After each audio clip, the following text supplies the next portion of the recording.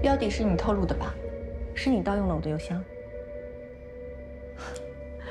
你这视频就能看清楚一个人影，你凭什么说是我呀？麦生欢，你别狗急了乱咬人吧。虽然你穿着卫衣卫裤还戴着口罩，但你手上的戒指，我应该没有认错吧？咱们公司那么多人戴戒指，你凭什么说是我呀？你就算是贼喊捉贼。你也找个靠谱点的理由吧。戒指不是铁证，那你身上带的包呢？什么？我说那天你身上带着的包，我那天根本就……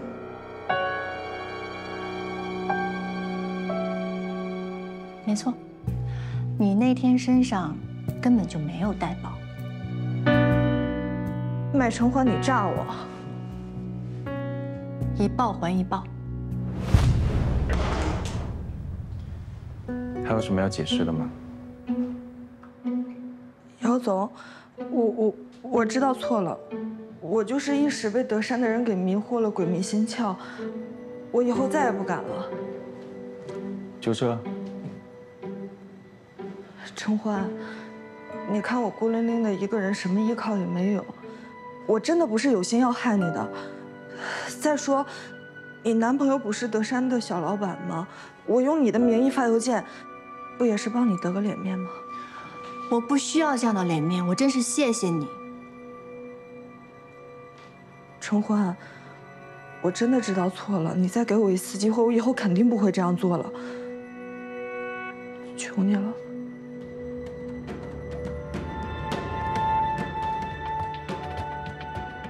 陈欢啊，你看这样好不好？无忧呢，毕竟也是老员工了，跟你一起共事了那么多年，你看能不能原谅他这一次？不能。对不起，朱总，我不能原谅一个一而再、再而三害我的人，而且这次他害的不是我一个人，他把整个酒店、整个集团都拉下了水。如果你们要为这样的人、这样的行为进行隐瞒的话，那以后我们的酒店还有什么公正、信任可言呢？报警吧。如果你们不报的话，那我来报。你报吧，你报啊！我现在就在这寸土寸金的办公楼上，出入着一晚上成千上万的高奢酒店，看似天之骄子，又光鲜又清闲，可实际上呢？实际上我住在松江，每天要花几个小时的时间挤地铁，还要和你们这些内环不出、中环不卖的人假装是同一个世界。还有外面那帮人，他们要位置的有位置，要靠山的有靠山，还有的人靠着位置等着养老。可我们也是人，也有野心，有欲望，遇到一丁点的机会就想突破头上的天花板，这有错吗？我只是想靠自己的努力留在上海，有那么难吗？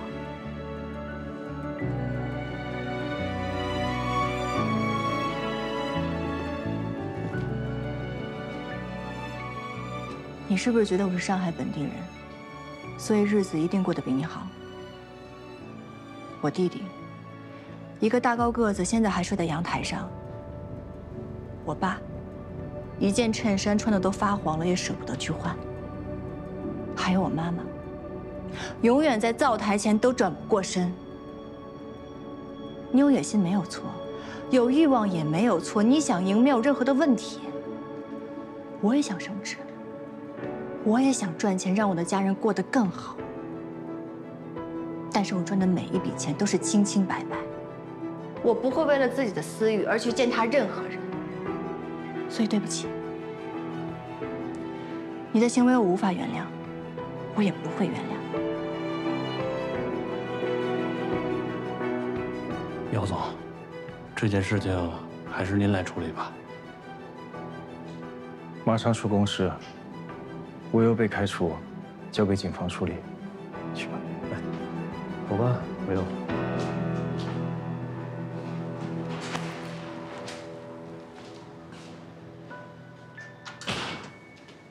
怎么，你还有什么事吗？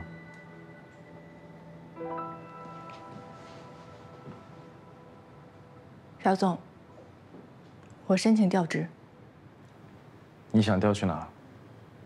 离你越远越好。好，那就酒店公寓的物业。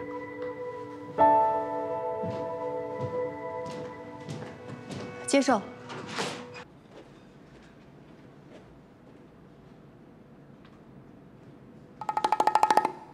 你怎么在这儿啊？刚搬过来，不行吗？你不是一直住酒店吗？这一层你管的，来帮忙。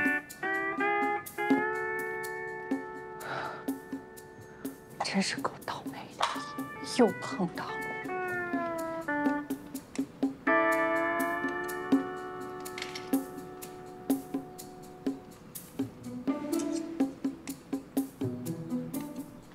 好了，杨先生，您的灯我已经给修好了。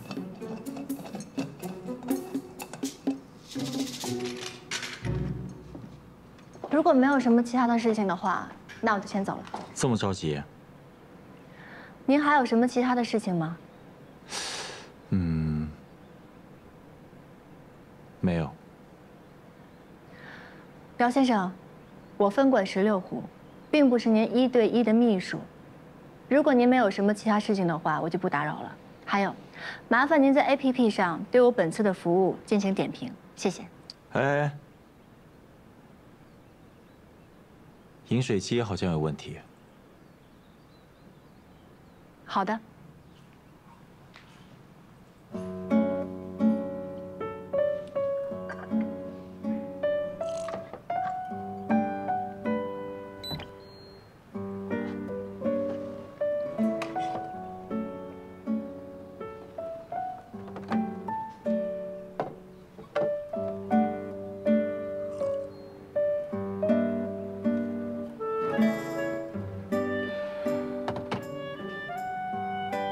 姚先生，每天我们公寓会给您送水，您不用自己买的。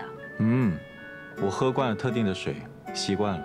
那您知不知道，您特定的水是不能加热的，一旦加热，矿物质结构会堵塞饮水机。解决问题，能不能搞定？